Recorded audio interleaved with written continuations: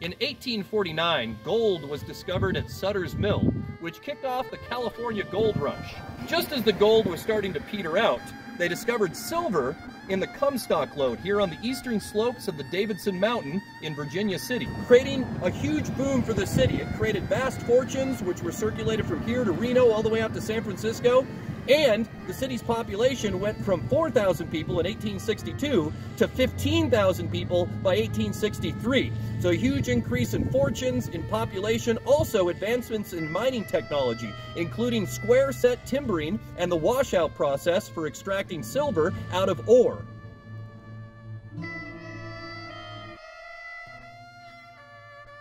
The Comstock lode was the largest deposit of silver ever struck in America and it attracted all kinds of colorful characters, including unsavory types like gunslinger Andrew Jackson Davis, known as Big Jack or Smiling Jack, and the gunslinger Langsford Peel, known as Farmer Peel, who was probably the inspiration for English Bob in the movie Unforgiven. Hold it. Oh, I wouldn't point no pistol at nobody, sir.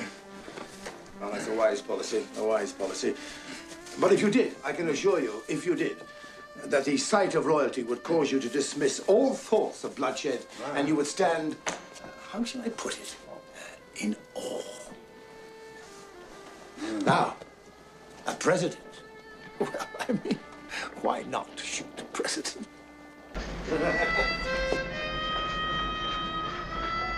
Now, two outlaw word slingers, John Lee and Steven Horsford, are battling it out for U.S. House of Representatives District 4.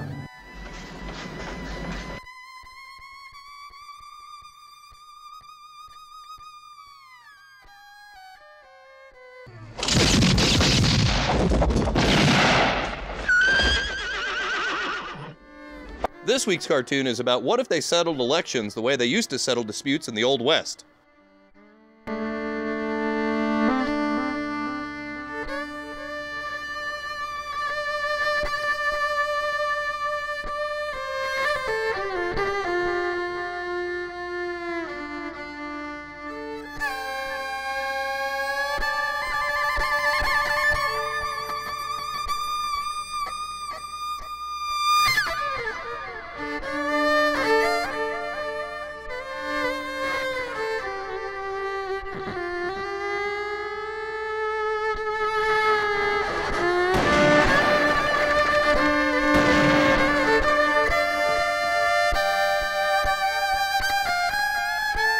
This is fascinates me in part because too I remember reading the stories that China had used this during the Olympics, that the USSR had used this after Chernobyl to create rain clouds. I mean, w- did those really work then?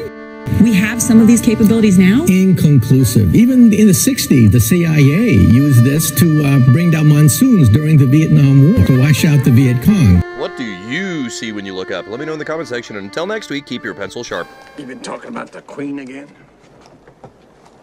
On Independence Day?